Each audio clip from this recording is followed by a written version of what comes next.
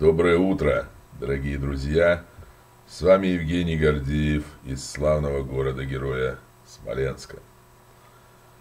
Друзья, э, вчера, вчера я направил директору Федеральной службы безопасности России Александру Васильевичу Бортникову обращение с просьбой организовать тщательную проверку убойной, не побоюсь этого слова, информации, которую не побоялся выложить в своем ролике тот, кого мы все знаем под ником Принц Юриэль.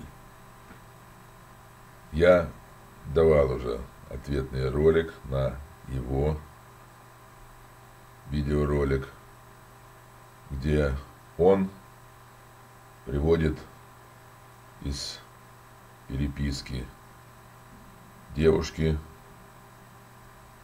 Вероники, якобы со Стасом Яскиным, сведения о том, что в Демидовском районе создана организованная преступная группа, которую возглавляют и крышуют, бандитским языком выражаясь,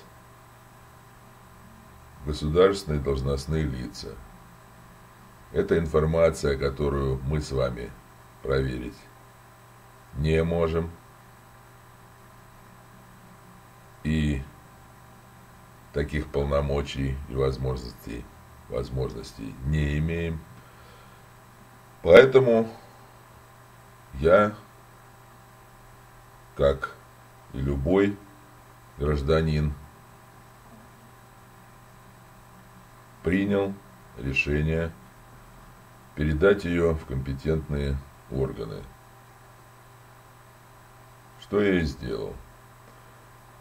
Посмотрим, какой ответ будет получен я этот ответ э, из Федеральной службы безопасности обязательно обнародую, каким бы он ни был.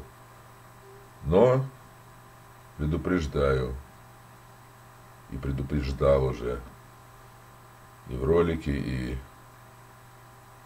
в ВКонтакте принца о возможных последствиях последствиях, которым может привести обнародование им вот этого ролика.